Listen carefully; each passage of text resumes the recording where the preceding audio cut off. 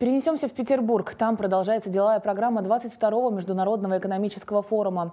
О том, как изменится медицина через 30 лет, какие технологии и методики встанут на защиту здоровья наших детей, расскажет корреспондент телеканала ТБН Кнари Нерсесова.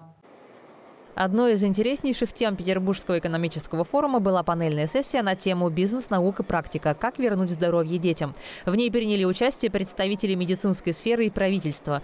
Участники обсудили инновационные технологии оказания помощи детям с фатальными заболеваниями, в частности онкологией. Поговорили о том, какую роль играют государство, бизнес и филантропия в данной области. Мы очень рассчитываем на то, что нам в результате дискуссии удалось показать или хотя бы заявить о том, что без филантропического благотворительного финансирования мы в принципе не сможем сдвинуться. А действовать надо быстро. И в этом смысле фонды, связанные с непрофильным бизнесом, с филантропическим финансированием, это единственный выход, который, честно говоря, во всем мире актуален и используется. Россия не должна быть исключением здесь. Разработка и внедрение передовых технологий в практику – важнейшие условия качественного прорыва в здравоохранении. Во всем мире источником прорывных идей для фарминдустрии и производителей современного медицинского оборудования являются медицинские академические центры.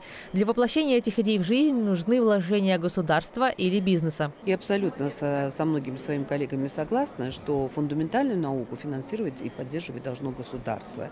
А вот прикладную клиническую науку здесь нужно привлекать, конечно, наш бизнес-сообщество, средства, да, наши фонды, как делается во всем мире. Посмотрите, сегодня американский коллега выступал. 95% финансирования науки – это частная организация, это бизнес. А филантропические вот эти настроения пока еще не так развиты в нашем обществе. Они развиты вот в отношении каждого конкретного ребенка. Да, увидят лицо а, хорошенького ребеночка, очень ему хотят помочь.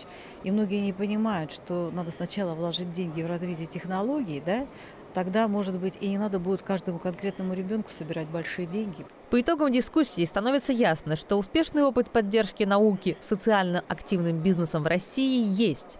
Это позволяет уже сегодня радикально улучшить лечение онкологических заболеваний у детей, а значит, общество имеет реальные шансы на оздоровление и полноценную жизнь. Кнарин Эрсесова, Данил Кильдюшевский, Новости ТБН.